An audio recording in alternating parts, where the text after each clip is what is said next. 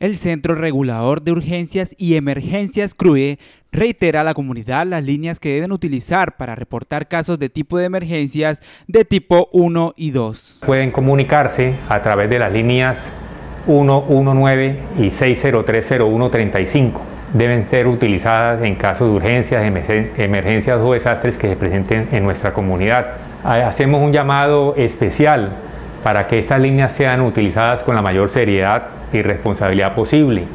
que realmente las utilicen y se comuniquen con nosotros cuando sean casos reales y no lo contrario,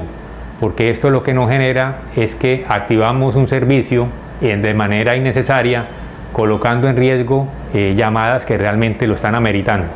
¿Pero cuándo se debe hacer uso de estas líneas del centro regulador? Cuando los pacientes eh, presenten eh, dolor torácico, cuando los pacientes eh, sufran heridas por arma cortopunzante, cuando sufran heridas por proyectiles de arma de fuego, cuando tengan heridas profundas con un sangrado masivo, cuando estén con pérdida de conocimiento o no respondan a estímulos, cuando los pacientes sufran un accidente de tránsito y haya heridos con traumas múltiples,